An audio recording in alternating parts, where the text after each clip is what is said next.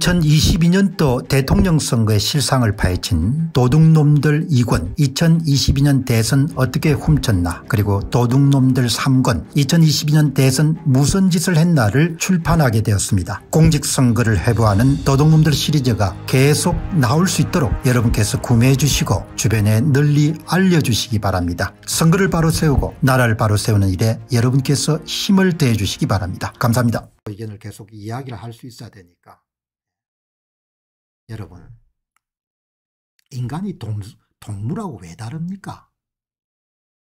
인간이 금수하고 왜 다릅니까? 인간이 짐승하고 다른 이유가 있을 거 아니에요.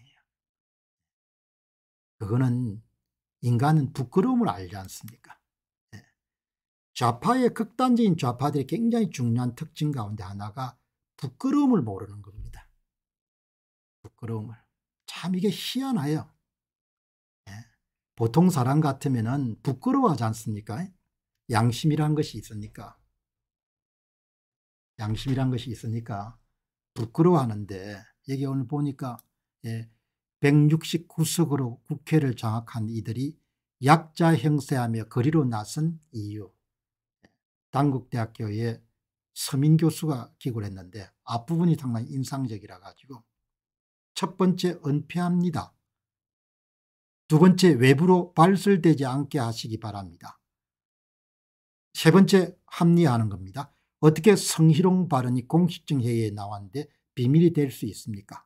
한동훈 법무부 장관에 대한 청문회가 2022년 5월 9일 김남국 의원의 이모 교수 발언 이수진 의원의 취근 주대 등이 세간에 화제가 됐지만 저의 관심을 끈 것은 김경률 회계사가 말한 더불어민주당의 조작 3법칙이 있다.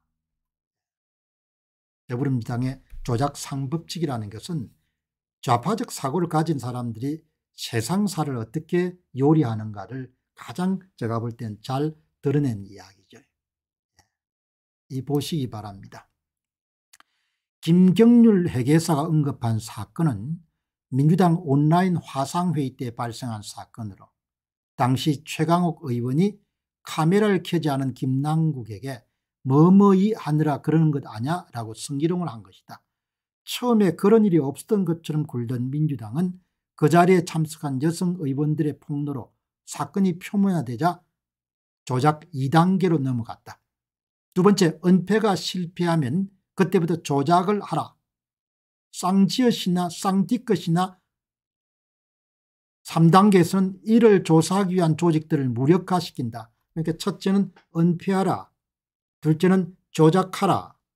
세 번째는 무력화시켜라. 선거 부정도 마찬가지네요. 은폐하라. 조작하라. 무력화시키라. 은폐하라. 조작하라. 무력화시키라. 제 양심은 참 하기 힘든 일입니다. 그의 말대로 민주당은 최강욱 의원이 한 말이 동전을 이용한 돈 따먹기 놀이를 지칭하는 짤짤이라고 우겼고 박지원 비대위원장이 당 차원 조사를 지시하자 1만 건이 넘는 문자 폭탄을 보냄으로써 이를 무력화하려 했다. 여기도 지금 마찬가지지 않습니까? 야당을 탄압한다. 방탄국회, 꼬리 자르기, 김건희 특검, 검찰 조작, 장애 투자, 이재명 이거지 않습니까? 유현호 씨가 일러스트를 잘 만들어 주셨네요. 은폐하라. 무조건 조작하라. 그것도 실패하면 뭡니까? 에? 조작을 조사하기 위한 조직을 무력화시켜라. 이거지 않습니까? 예. 이거는 제 판단은 동물이 하는 짓입니다. 제 판단은 금수가 하는 짓입니다. 제 판단은 짐승들이 하는 짓인 거죠. 인간은 양심이 있기 때문에 보통 사람은 이렇게 할 수가 없는 거죠. 그러나 김경률 회계사가 이야기한 바대로 조작 3단계는 그들에게 아주 익숙한 삶을 살아가는 방도이자 세상을 헤쳐가는 지혜인 거죠. 은폐하라, 조작하라, 조사하려고 하는 자를 무력화시켜라. 3단계입니다. 여러분들 지금 그 시각으로 한국 사회를 보시기 바랍니다. 이재명 관련 사건 부정선거 사건 다 보시기 바랍니다. 은폐하라 조작하라 조작을 밝히려고 한 세력을 철두철미하게 무력화시켜라. 이런 인간들하고 같은 하루 하나 사는 겁니다. 이런 인간들을 막지 못하면 그들 함께 지배당하면서 평생 사는 거죠. 딴 방법이 있습니까? 딴 방법이 없는 거죠. 조작하라 은폐하라 조작을 밝히려고 하는 자를 무력화시켜라 이런 세력들에 의해 가지고 지금 대한민국이 장악되어 있는 겁니다. 그리고 그들 밑에서 복속돼 가지고 국민들은 신음하며 살 겁니다. 뭐 이렇게 지금 돌아가는 겁니다. 대장동에서 어떤 일이 있었냐 하면 처음에는 당군 일의 최대 치적이라고 했습니다. 그런데 그것들이 여러 언론과 시민단체 지적으로 드러나게 되니까 이제부터 조작을 하는 겁니다. 예? 대장동의 주범 윤석열이다. 이런 말도 안 되는 이야기를 찌꺼린 겁니다. 민주당 의원들의 제지로 김경률은 3대 거를 말하지 못했지만 우리는 알고 있습니다. 당시에 친정권 검사들이 수사를 뭉개고 국민의힘 요구한 특검마저 한상 거부하지 않았습니까 이재명 당시 후보가 갑자기 특검을 주장한 시기적으로 특검이 불가능해진 대선 직전이었습니다.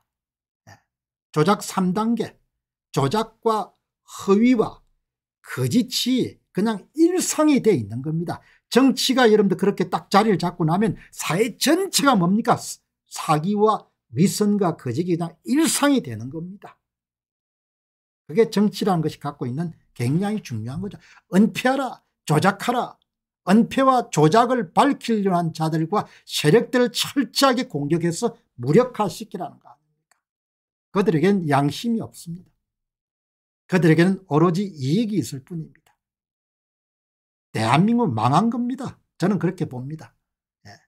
뭐 오늘 이 방송 들으신 분들 가운데서 아직 안 망했습니다. 이렇게 하고 싶은 이제 여러분 선거 덮는 거 보시기 바랍니다. 그게 망하지 않은 겁니까?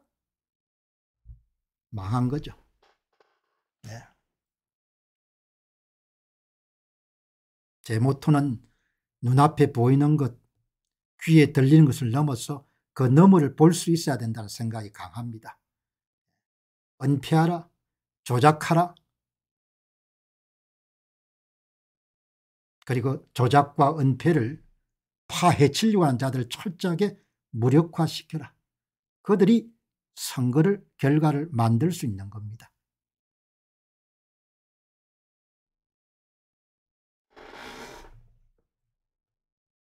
바뀐 건 아무것도 없는 겁니다.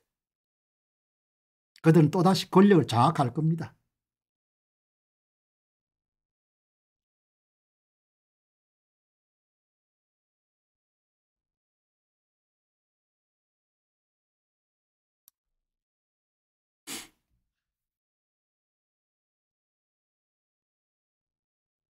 제가 이렇게 이야기를 하더라도 뭐, 뭐, 그렇죠?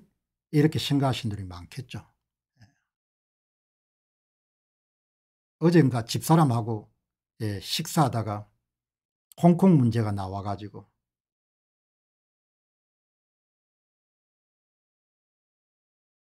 내가 가장이었으면 어떤 판단을 내렸을까 그런 이야기를 나누었습니다.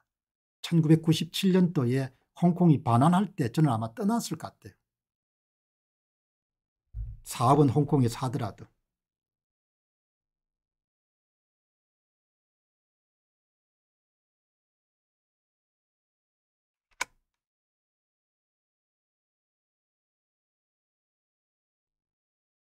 여기 홍명표님께서 제 주위 50대들 선거 부정이 수학과 통계로 증명되었고 제가 기초적으로 설명해도 안 믿습니다. 안 믿으면 할 수 없는 거죠. 자식들하고 뭐 고생을 하는 수밖에 없는 거죠. 수학을 무시하는 사회가 됐습니다. 동계학을 무시하는 사회가 됐습니다. 기가 찬 거죠. 네. 대가리들은 뭐하고 달고 다니는지 모르겠어요. 대학은 왜 나왔냐? 네.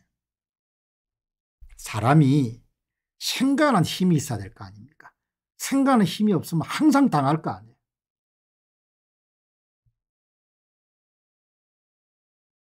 이 사건을 보면서도 참 예.